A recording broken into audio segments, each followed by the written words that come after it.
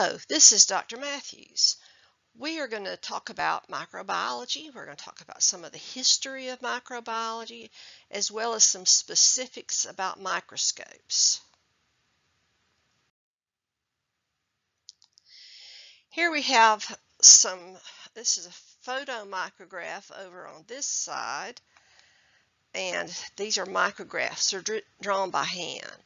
So on this side you see a red blood cell, E. coli, rickettsia, very, very tiniest bacteria. In fact, at one point they weren't considered to be a bacterium, down to poliovirus, and there are viruses that are much smaller than that. You can't see viruses with the naked eye.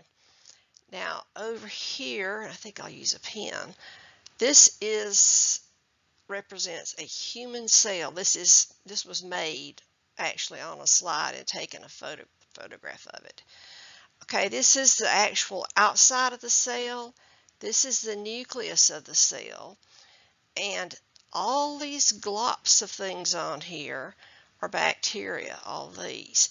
This elongated one is a bacilli. These little dots are cocci.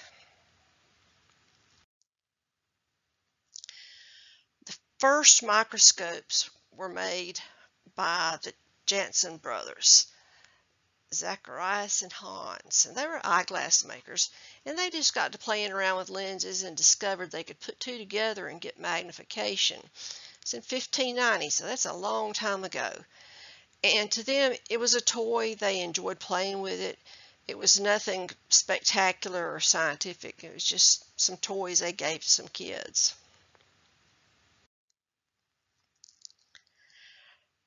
The next time we have anything in the history of microscopes is Antony van Leeuwenhoek. He was a Dutch or a Dutch cloth seller, native of Holland, and he lived 1632 to 1723, so he got to be an old guy. He sold cloth, and you need to grade cloth. Now, if you go to Walmart and you want some pillowcases, if you look at the thread count, if it says 125 threads per inch, you know that's a really, really bad pillowcase. Now, if it says 1250 threads per inch, that's probably a good one. And plus, he also looked for differences in the cloth, like the threads, instead of being nice and even. That's not very even, is it? They might have breaks and things like that. So he definitely looked at these and tried to change them, you know, grade them, decide how much to charge, because people pay different prices for better cloth. Just like if you're going to buy a good pillowcase, you're going to pay a good price. Now, he um, made a really good microscope, better than anybody else, and therefore he was called the father of microscopy. Another thing was that he, I guess he got bored trying to sell cloth and nobody came in his shop. But he decided to take some stagnant water and put it on a whatever slide or whatever he used for a slide and look at it. He saw things swimming and I just went, whoa, those things are alive. He called them animalcules. He said, little animalcules swimming prettily along. Well, he saw protozoans, bacteria, and he also um, looked at filthy tooth scrapings and um, you can imagine the bacteria he saw for that. I mean, there wasn't Crest toothpaste or even toothbrushes. Some people who were wealthy might wipe their teeth off with cloth. Uh, he looked at sperm. He got a little activity there, I imagine. Okay, he would not tell anybody how he made his microscopes be so good uh, it was a secret and he wouldn't change it. This is the actual drawings. These are these are micrographs, not photo micrographs, but he drew these in detail. Look at how much detail you have in these organisms. See the cilia on this? And I don't know what these organisms are. And in this one, he's showing a tiny organism and then displaying the motion that it had. And you know, just did immaculate drawings and so he has to figure this, figure that, and then he told where he got it and what it looked like. Drew beautiful pictures and um, fantastic write-ups on them, but he wasn't a scientist. He's an amateur, and he sent his stuff, his books, his work to the Royal Society of London, and they said, "You're not a scientist. We can't look at your work." But it, some of them flipped through it and said, "This is pretty interesting," and because he was probably the first person who he's at least the first person who saw microscopic life and told about it. And if you think about it, just go back into those days, the thought of little microscopic organisms was just absurd. Anybody knew what causes diseases back in the early 1700s, 1800s. Evil spirits, of course, right? Yeah. Okay, now, a famous scientist in that day, Robert Hooke, was asked to look at some of his work, and he actually said it was really good and thought that it had merit and that he should be considered, you know, a worthwhile person. But he would not tell Hooke, Leeuwenhoek would not tell Hooke how he made the microscopes, why his were better. And uh, Hooke got annoyed with him, but he still said he was a pretty good at drawing. Okay, Robert Hooke lived about the same time, 1635 to 1703, so he didn't live to be as old. Um, he was an English scientist, and he did improve, and he actually shared his information on making microscopes, and he did some very excellent work. Uh, he looked at insects, sponges, protozoans, and a lot of different organisms, and he drew them in detail and published a work called Micrographia because it was micrographs. If you see the time here, they were born almost the same year, but Leeuwenhoek outlived him. Okay, Hooke coined the word cell. Now we all know we're made up of cells and we're going to talk about cells and all sorts of things. You talked about that first thing when you took anatomy and physiology was to talk about how cells are made up, what they're made up of, what they look like. Well, he was the first person to notice that when you look at a piece of cork, every piece of cork that was sliced thin enough looked the same. And see these little boxes? That is the cells. But it was just absolutely amazing. It was a huge breakthrough. He said every single organism is made out of cells. And huge breakthrough in science. Types of microscopes. Light microscopes. This is a typical type of microscope. Generally, we're going to use compound microscopes with two lenses, the ocular lens and then the objective lens. And you use two lenses because they multiply the strength of the other. Um, if the ocular lens, that's the eyeball lens, multiplies four times, and the objective lens uh, multiplies, uh, well, I said that backwards. The ocular's 10 times, the objective's four times. They multiply, you get 40. And typical light microscope goes up to 100x, and that's about it. Now, you can go down to, well, there used to be Toys R Us. I guess you'd have to go to Amazon.com and buy a $100 uh, microscope that would magnify to a thousand times. But the picture is not going to have the same resolution. It's like getting a cheap camera and it's everything's pixelated. Well, it's the same thing with microscopes. The more expensive, the nicer the microscope, the better picture you get. This is the anatomy of a microscope. Ocular lenses here, eyeball lenses, and I will warn you that they will come off.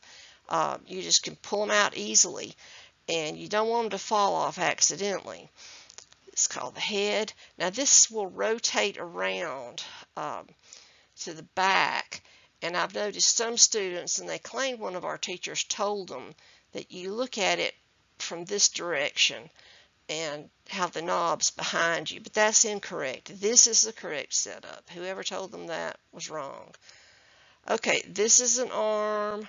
This is the base. So if you're going to pick up a microscope and take it from point A to point B, you're going to have to gather up your cord first and then pick up the base, pick up the arm, and uh, get them, uh, hold it carefully, don't turn it upside down, and carefully watch where you walk and don't fall because the number one rule in a microscope lab is don't break the microscope. Okay, over here we have a rotating nose piece and we have different sizes of objective lenses. The smaller, the shorter one is lower magnification, probably 4x. And generally the best thing to do, this is your stage right here. You see there's a little clip here. Is you put your slide right here and you rotate around to the lowest power and then you take your adjustment knobs. Don't use the fine one yet. Start with this coarse knob and get it as close as you can and then you can do the fine adjustment afterwards. I remember I had a student that tore a microscope up by just taking this one around and around and around and around and around and around and around and it made it to where eventually this stage would just go up and down on its own. Um, other parts of the microscope, of course, light switch, and this is one place a light switch might be. Uh, light control, you can make it brighter or darker. And then also you have a substage light here that's got an iris diaphragm and has a lever that you can open or close. Think of the pupil on your eye. If it's constricted, less light gets in. If it's dilated, well, you can it, more gets in. Well, you can dilate this. And we have our condenser here. I think that's about the parts. Okay, fluorescent microscopes are somewhat interesting. Uh, these uh, will cause your specimen to fluoresce under ultraviolet light. And what you do is you take a specimen. Uh, one of the more common uses is if you think if somebody's been bitten by, say, a wild animal that had rabies and you're lucky enough to get your hands on the animal and it's been uh, killed and the brain has been uh, saved, they take that and they section it into microscopic pieces. They mix it with antibodies that are attached to stuff that will fluoresce, dyes that will fluoresce when you have an antibody antigen complex. So if the person has, I mean, well, hopefully it's not a person you're testing their brain, but it could be if you work you know, in a place where they test dead people. But say, you know, the dead fox or whatever animal, this is a positive rabies test. See these? That's positive. So whoever got bitten by this animal is going to have to get shots. Now, unlike everybody says, it's not 27 shots in the belly because they're so inflammatory that you can't walk if they give them in the arm or leg. That was the original stuff. They're much better now. You get two or three shots and then they check your titer. But if you've never had been exposed to rabies and had shots before, they also will take serum that's hyperimmune to rabies and inject it directly into the wound. And that apparently is what hurts. Now, they weren't doing that when I was first exposed to rabies, thankfully. So I have already been exposed. I've had four exposures. And so I've never had to have a serum. The first was a mule, the other three were cats. Never been exposed to a rabid dog. We had one we thought was rabid, but he came back negative. Okay, electron microscopes. Uh, we have transmission electron microscopes. The beam, electron beam, goes through the specimen, and you can look at the organelles in extreme detail. And that's how we know what the organelles look like. Electron micrograph of a neuron. And you can see some of the different things, but they're not labeled. This resembles something like an endoplasmic reticulum. Yeah, and your guess is probably as good as mine because I don't see anything that really looks exactly like the things in the book. We could call that a ribosome if we wanted to, but I'm making it up. Then we have scanning electron microscopes. They just look at the surface of an object. This is really cool. This looks like worms going through Swiss cheese, but it's actually Campylobacter bacteria, very small, and they're sitting on filter paper so that they can see them, but some of them are trying to crawl through the pores, as you see here, and it really looks disgusting, but I think it's cool too.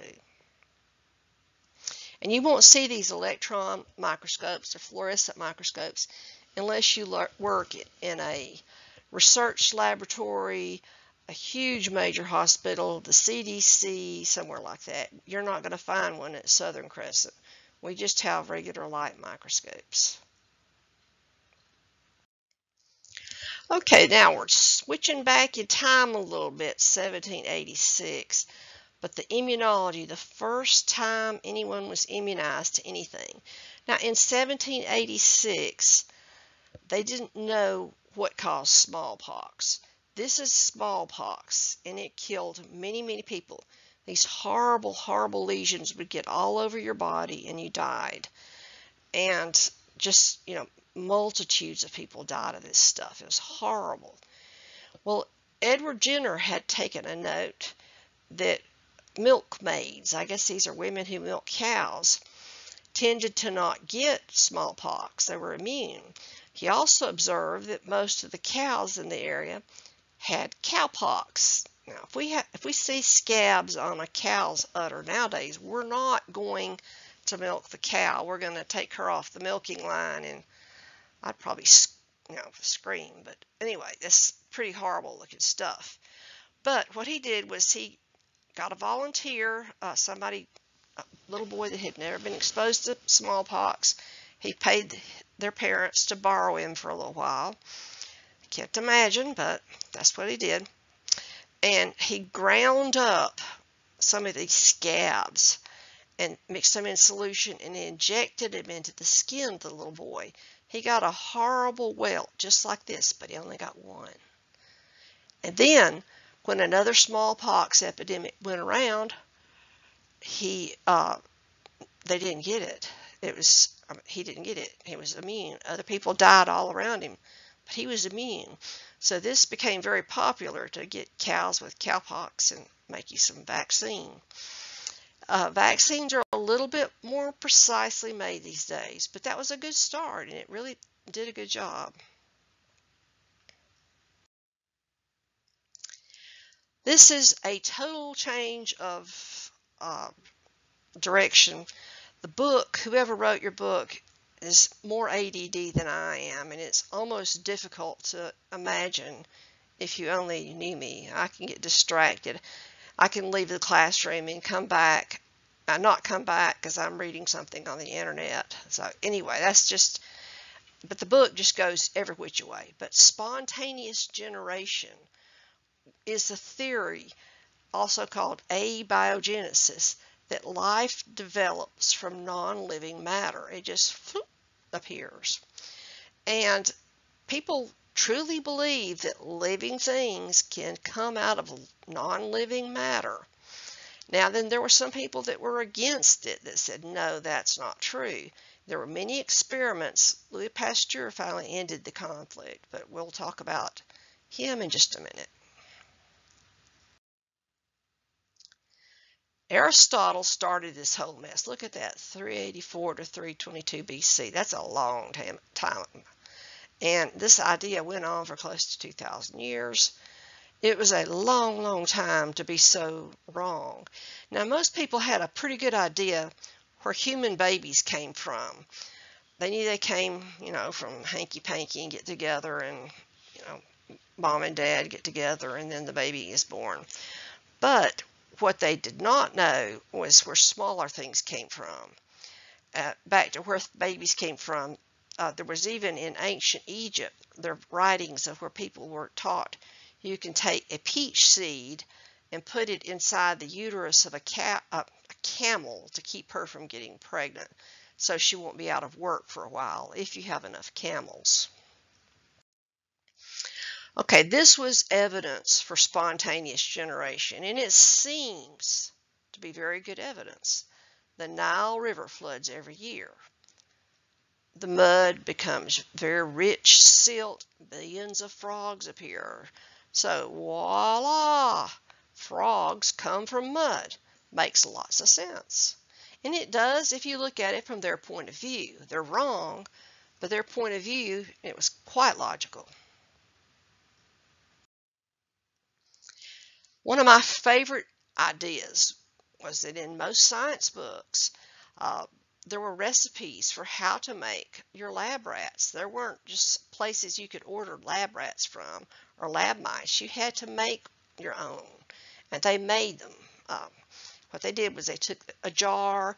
There's another book I saw that had a wooden box with holes down here. It seems like a better recipe. In this one, you take sweaty underwear and then you put wheat in the jar. Leave it alone in a dark place like an open barn and come back and voila, you have mice. Uh, so that proves they made mice, right?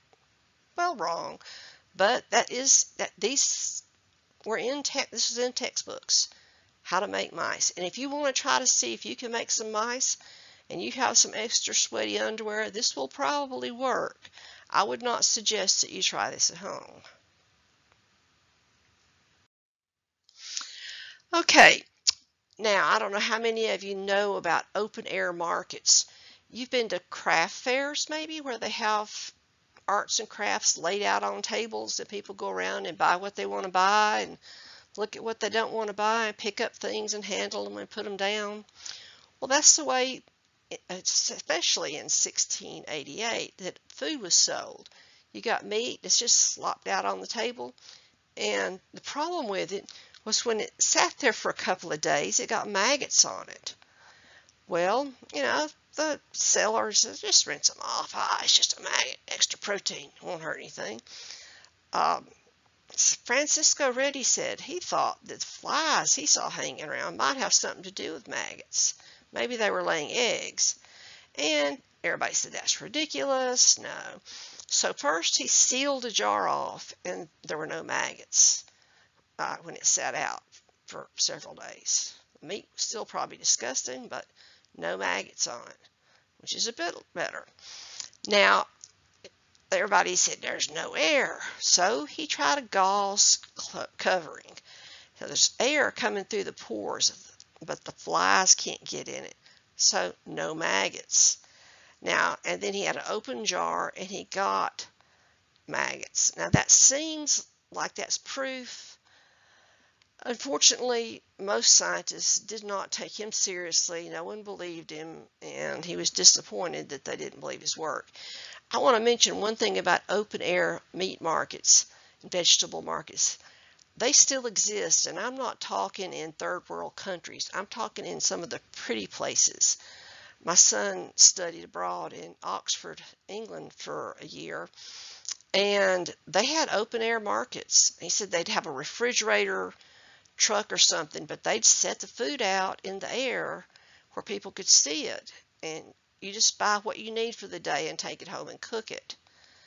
And it seems pretty scary, but he didn't die. Okay, now John Needham decided no, spontaneous generation is true, and this is way later. So he's going to prove it. So he boiled some broth. This is in a sealed container. And left it several days later, he got bacterial growth. And so he could see the turbidity, the, the murkiness of it. And then if you looked at it under a microscope, you could see movement. So he knew that he still had uh, growth. So he said, aha, spontaneous generation. He didn't know about endospores. An endospore, let's just say, I'm real bad at drawing, but let's say this is your bacteria. The endospore may grow around it and protect it in a hard time. And things like botulism have endospores. Anthrax does. Now, anthrax, you can bury a cow that died of anthrax Dig him up 50 years later, there's no sign of the cow, but the anthrax can still be down there and kill you. Botulism. If Aunt Susie home cans her green beans and she doesn't use a pressure canner and she just heats them up on the stoves and serves them to you, don't eat them. They may have botulism in them. Clostridium botulism and any of the clostridial organisms make endospores. Other clostridial organisms, tetanus, gas gangrene, they go on. Okay.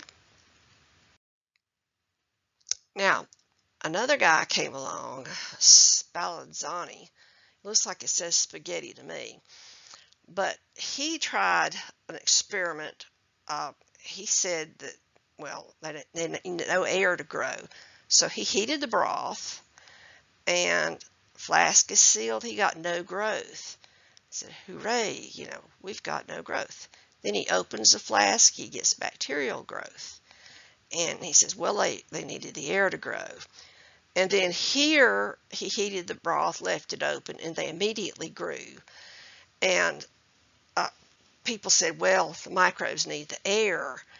Um, and so this had nothing to do with, they thought this was spontaneous generation. Even here, you just had to have air. Now, Louis Pasteur in 1859, he did this experiment. Now, he knew that spontaneous generation was a crock. He knew that life came from life.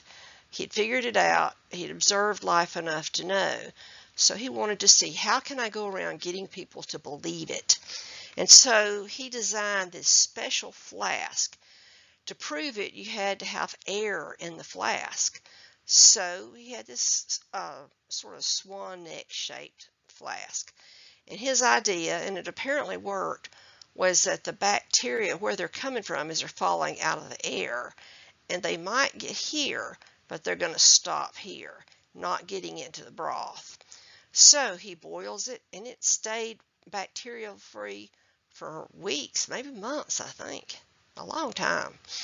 Then he broke the flask off. It wasn't any time, just a few days, just tons of bacteria. Was his experiment better than the one with the maggots? No. Uh, was it better than most of the others? No.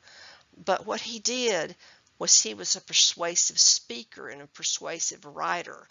And this is why you have to study all those English classes and take public speaking. You've got to be able to convince people that you know what you're talking about. And that's how he got it across. He, he did the same basic experiments, but he convinced people he was right. This is jumping around a little bit, and this is not in your book. This is out of an article of the American Veterinary Medical Association. I think it was 1985. I don't have the copy in front of me. But in 1900, this was before milk was pasteurized, over 100,000 American children died each year from drinking store-bought milk. Uh, little babies, two years up, two year old, you give them milk, they get sick, they die. Now, how many children die from drinking milk now? Zero. I mean, and I guess they'll say choke on it. I mean, you know, this just it doesn't kill them. Now, this is a typical milk line back in the 1900s or before. Uh, these are little boys, and that's why people had all these kids, is so they could milk the cows and do other farm chores. And they wanted a lot of them because they had a lot of cows. And so before the kids went to school, they got up. They have two buckets, one you sit on, and then one you milk the cow into. They didn't worry about washing the udder. There's flies hanging around. She could have had manure on her, tails swishing around, not secured. And then when they're through milking in the bucket, someone takes those buckets and they pour them into a larger container that's covered with cheesecloth and it gets out any big chunks of manure and flies and so it's clean milk at that point, right? Mm, maybe not. So then where we go from there That milk is then picked up by a guy with a horse or mule drawn wagon. This mule is sad. He needs more food. Or he could be 35 years old.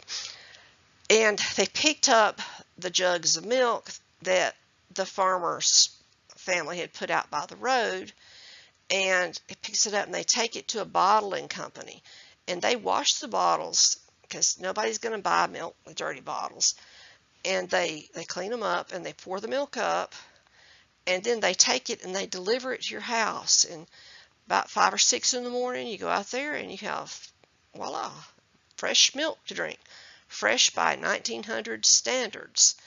Now my grandfather talked about milking cows before school and then he talked about had had to walk to school five miles in the snow.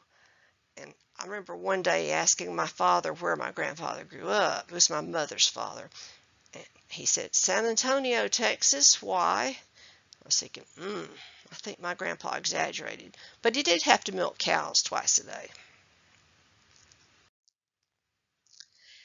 Now, modern milking and pasteurization, you see his work, his name right there, Pasteur, Louis Pasteur. They go about things totally differently. They have a clean, sanitized milking parlor, and water flushes over it with disinfectant every between every round of cows. And the cows line up. The bossiest cow gets milked first. As soon as she's through getting milked, she gets a treat, and that's why they do it that way. So, why the cows do it that way. The uh, whoever is doing the milking will take these udders and they'll clean them, scrub them, uh, scrub the teats, dry them, and then they'll squirt a little bit of milk out of each teat onto a little surface that detects signs of bacterial infection. If she comes up okay, they then dip the teats into a disinfectant just to clean them further, wipe them off with a towel that's been washed and with Clorox and dried, and hook her up to this sterile milker that goes through a sterile tubing that goes into a sterile container. And each of these cows are going through the same thing. And when it's through, it'll drop off and she backs up and goes and gets her food.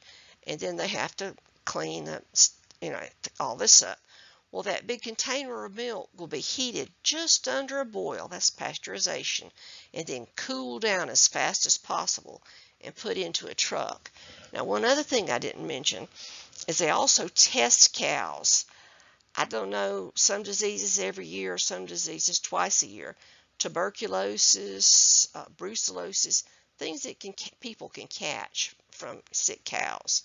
So if you want to drink raw, unpasteurized milk from a dairy, uh, go for it. I, I, I drank one glass of milk that somebody milked from their own cow.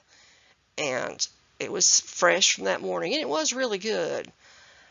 But I sat there and worried so bad. I, mean, I was paranoid for weeks that I was going to catch something deathly and die, but I didn't.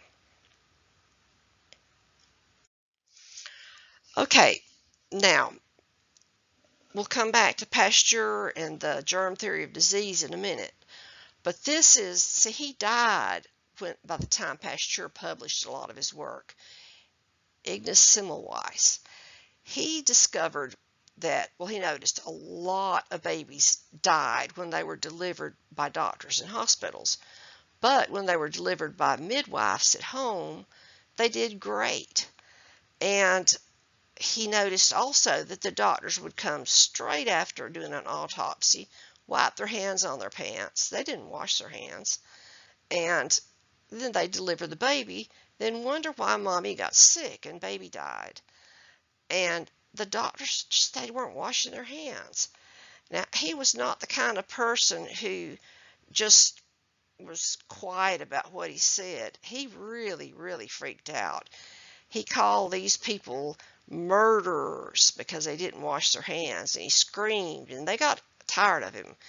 And the common rebuke was, "Doctors are gentlemen, and gentlemen are clean."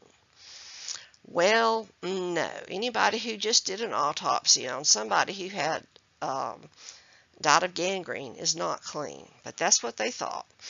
So he was really discouraged. He had really high strung man and he had great success in his hospitals, but yet he got fired because of his teachings and he was replaced with someone who didn't wash their hands. So he started drinking and running with women of ill repute. And that showed a sure sign that he was insane in uh, the 1800s. So his colleagues tricked him to go down to an insane asylum. Then they grabbed him and threw him in a jail cell, basically. And he fought and he fought and he fought and he got a cut. And ironically, it got infected and he died of septicemia after fighting bacterial infections his whole life. So he was a very sad man. But all his screaming and yelling and ultimate death brought attention to others. Now, Oliver Wendell Holmes, he was a Harvard doctor, and he had noticed, you know, the work of Semmelweis, and he also noticed that if people didn't wash their hands, uh, mamas and babies tended to die. And so he said there's something contagious in this, uh, in, on these hands. And they just, they didn't know what it was, vapors of contagion. They call the disease puerperal fever, but it's not just one disease. It's just filth in general. And um, he started making people wash their hands. And he had noticed also that midwives had a greater success than doctors at delivering babies and nobody dying. Well, women, even in the 1800s, were taught to wash their hands and to wash stuff because they had mothers. And I don't know about any of y'all, but if I hadn't washed my hands, my mother would have whipped my hide. But anyway, it's just a difference in attitude. And they weren't around, the midwives weren't around as much filth either. So, very radical to wash one's hands. Um, the germ theory of disease uh, was starting to develop, just you know thinking about these things. Well, Pasteur noticed, well, I can slow down microbes in wine and it won't spoil. I can kill microbes in milk and it won't spoil as fast. Well, is there any way that that could cause infectious disease? And that was something huge, you know, what a bizarre theory. Could germs, bacteria cause disease? Well, he wrote up that it could, and Joseph Lister decided to take it a step farther, and he wrote up a list of protocols. Don't y'all love working in a place where you got a protocol for everything? You got to do everything a certain way, you know, turn your nose this way and your chin that way. Uh, so many protocols, but he had very strict protocols, and they had to disinfect things, actually wash their surgical instruments. What a bizarre idea. Um, he sprayed aerosol disinfectants on stuff, and he basically introduced a protocol for aseptic technique. Asepsis means without sepsis. Sepsis is infection. And Listerine was named after him. Okay, Robert Koch lived in the same general time. He published this a little bit later than a lot of Pasteur's stuff was published. But he took anthrax and injected it in a mouse. The mouse died. That's amazing, isn't it? Then he took, he identified the anthrax. He grew it in culture, identified it under the microscope, took some of these organisms, turned them into an injection, injected that mouse. Well, that mouse died. Then he took some samples, I think he did blood out of them, did another culture. There's pure anthrax. So he's shown a cause and effect between anthrax and dying. So he came up with Koch's postulates, and these are very important for research. If to prove cause and effect, the microbe must be present in every animal with a disease, has to be absent in healthy animals, can be isolated and grown in pure culture outside the host. The cultured microorganisms must cause the same disease in the inoculated animals, and the microorganism must then be isolated from the inoculated animal. So what we're show, what we're showing here is cause and effect. I I write this bad with a pencil. And effect. E F. I wonder if I could type with this thing. C T. Okay, did it cause it? Now, just because someone has a fever and they're sick, that doesn't mean they have COVID. Uh, it, it, you have to test them. It could be the flu. Maybe they've got strep throat. You've got to test and find out what is causing your disease. Okay, and that is all for now. So we'll go on to the next section later.